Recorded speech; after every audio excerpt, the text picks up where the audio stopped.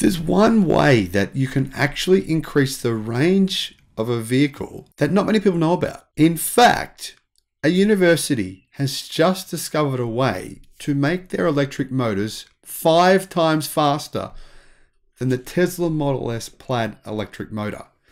This would significantly increase the range of EVs with these motors. Hello, my friends, and welcome to the channel. I'm the Electric Viking. Great to see you. Welcome to the new subscribers, and welcome back, everyone else. Not many people are aware of the actual RPMs of an electric motor. Now, we talk about, when we talk about a car, right? We're talking about a gasoline powered car. We're like, oh, well, the new Ferrari, whatever it is, its top rev line is 8,000 RPM. Always say the the new Ford Mustang that's just come out, the new GT model with the V8. It's got the Shelby flat plane crank engine and it'll do 9,000 RPM. Isn't that amazing? Well, the RPM of internal combustion engine vehicles, of gasoline powered vehicles, is pretty low compared to, say, an electric motor. And that's one of the key reasons why the efficiency, one of them, one of the key reasons why the efficiency of electric motors is so much higher than internal combustion engine motors. Now, there's a whole other range of reasons, but we won't go into those now. However, to, to, compare it, for example, the highest revving motors right now that you'd buy in a production model vehicle are around 9,000 for gasoline. For electric, they're around 25,000.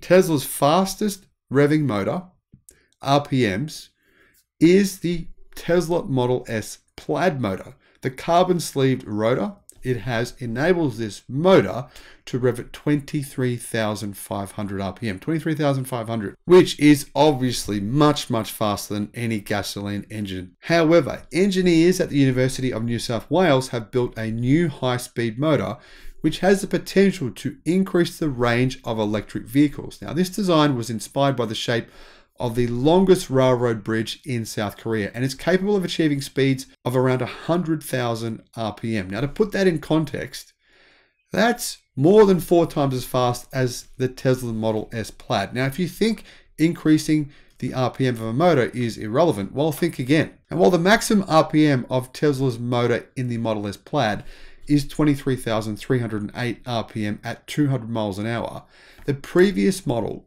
the P100D had a red line of 18,000 RPM at 155 miles per hour. So you can see that yes, actually increasing RPM can make the vehicle faster and it can make it more efficient. However, there's a few other reasons why these faster motors will actually change the game when it comes to EVs. They absolutely will. Now, the maximum power and speed of this motor, this new motor, of 100,000 revolutions per minute, achieved actually exceeded and doubled the existing high-speed record of laminated IPM SMs or interior permanent magnet synchronous motors, making it the world's fastest IPM SM ever built with commercialized lamination materials, according to the researchers. Most importantly, the motor is able to produce a very high power density and significantly reduces the use of rare earth materials, which save on weight and construction costs. That's the key. One of the trends of electric vehicles is for them to have motors which rotate at higher speeds, says Dr. Chu from the University of New South Wales School of Electrical Engineering and Telecommunications. Every EV manufacturer is trying to develop high speed motors, and the reason is that the nature of the law of physics then allows you to shrink the size of that machine. And with a smaller machine, it weighs less and consumes less energy, and therefore that gives the vehicle a longer range.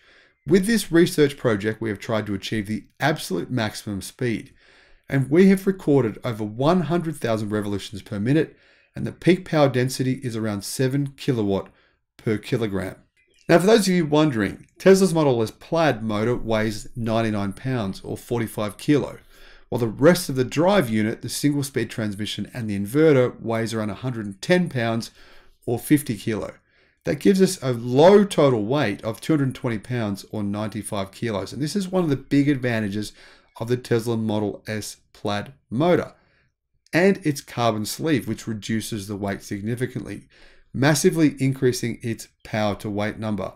So the electrical drive system developed at the University of New South Wales by these researchers is also scalable and the power and speed can actually be adjusted. The researchers say that it would take around 6 to 12 months to modify the motor to suit Tesla's needs. For example, We have our own machine design software package where we can input the requirements of speed or power density and run the system for a couple of weeks, and it gives us the optimum design that satisfies those needs, says Dr. Chu. Now, obviously, can this motor be used in mass production? Will it last for 500,000 kilometers, a million kilometers, 2 million kilometers? I'm going to guess probably not. Running those kinds of speeds, I'm going to guess that the reliability would be significantly lower. But if you just turned it down a bit by, say, 100%, down to 50,000 RPM, or 50% depending on how you want to look at it, down to 50,000 RPM, then in theory, the longevity of this motor could be significantly increased. Now, this is one of the big advances we're going to see in electric cars over the next decade. It won't just be batteries becoming more efficient. I've also talked about the new motors that are becoming more efficient. One of the new ways that these motors will become more efficient is by running at higher speeds, therefore enabling them to be smaller and lighter weight. Now, I think it's really interesting to see this kind of development in the electric vehicle world. Let me know if this is the kind of stuff that interests you. If it is, I'll make more videos about technology in the motors and about technology in other parts of EVs, not just in the battery pack. Thank you for watching. Have a great day, and I'll see you again on the next video. Bye bye.